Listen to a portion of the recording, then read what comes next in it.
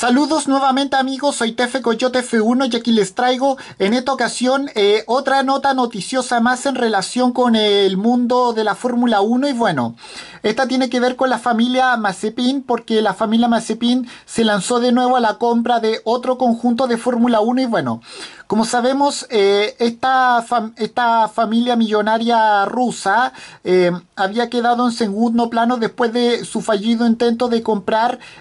Force India y bueno, lo que hoy en día es Racing Point y que a partir del próximo año será Aston Martin. Y bueno, sin más que decir, vamos a hablar un poco de aquello. Bueno,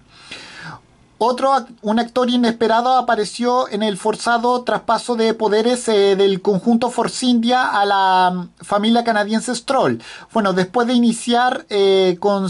con Sergio Checo Pérez un proceso que metió a los tribunales de por medio, este equipo entraba con un supuesto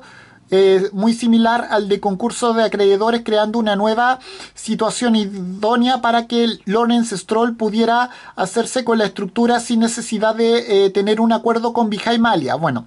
sin embargo, esto dejaba la puerta abierta a que aparecieran más posibles compradores, así como ocurrió, bueno, Dimitri Mazepin, eh, el bielorruso de nacimiento que atesora eh, un fruto de sus negocios con la química Ura, Ura, Uralchem, eh, bueno, Uralchem eh, Integrated Chemical Company, eh, que está centrada en la producción de productos fertilizantes. Bueno,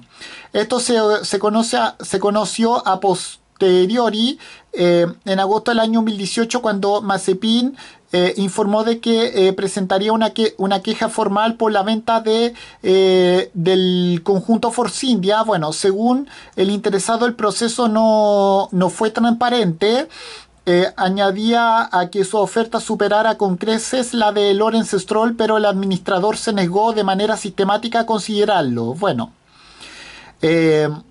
finalmente las protestas del mismísimo Mazepin no quedar, quedaron en absolutamente nada, pero el motivo que, lo había llevado a querer a, comprar una escuadra de Fórmula 1 seguían intactos. Bueno, Dimitri buscaba eh, asentar a su hijo, eh, que es obviamente Nikita Mazepin en el Gran Circo, siendo la compra de toda una estructura eh, de una manera atractiva de hacerlo. Bueno.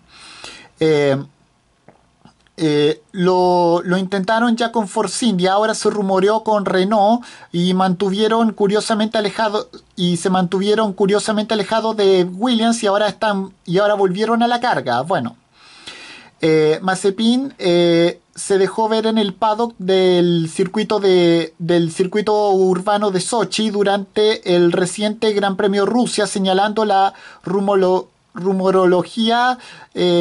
en ciertas eh, reuniones con el conjunto Haas en estos dos en estos dos momentos el equipo más accesible cuyo propietario es Jim Haas informó sus intenciones de salir de la Fórmula 1 algo que solo había frenado por el nuevo solo se había frenado con el nuevo pacto de la Concordia y la garantía de revalorización de este equipo ante el bloqueo de nuevas entradas en la categoría. Bueno, Nikita Mazepin, siempre polémico eh, por sus agresivas actuaciones ya saben lo que es eh, ganar carreras en, en, categorías como GP3 o Fórmula 2 eh, después de una segunda temporada en la categoría telonera, se siente preparado para dar el salto a la Fórmula 1, lo que habría precipitado de nuevo la intención de comprar una estructura de la familia Mazepin. Bueno,